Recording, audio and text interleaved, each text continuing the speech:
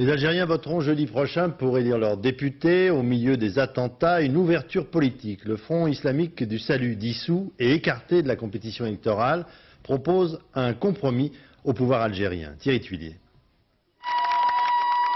L'appel au dialogue du fils n'a pas troublé la campagne électorale algérienne. Ahmed Ouyaya, le Premier ministre, tient meeting comme tous les jours.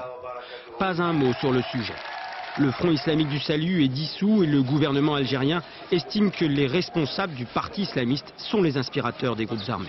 Ça ne m'intéresse pas. Les déclarations de criminels n'ont aucun sens. C'est une fin de non-recevoir. L'offre du fils ne sera même pas étudiée.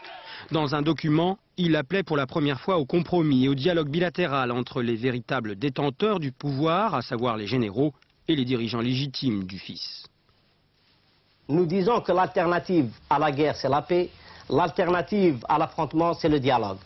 La négociation que nous réclamons n'est pas une reddition. Au contraire, c'est l'affirmation d'une maturité euh, politique et d'un souci de co- coexistence politique et sociale.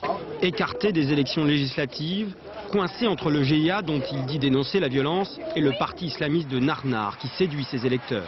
Le fils semble jouer sa dernière carte, mais il est sans doute trop tard pour démentir le président algérien qui affirmait il y a déjà deux ans que le dossier du fils était définitivement clos.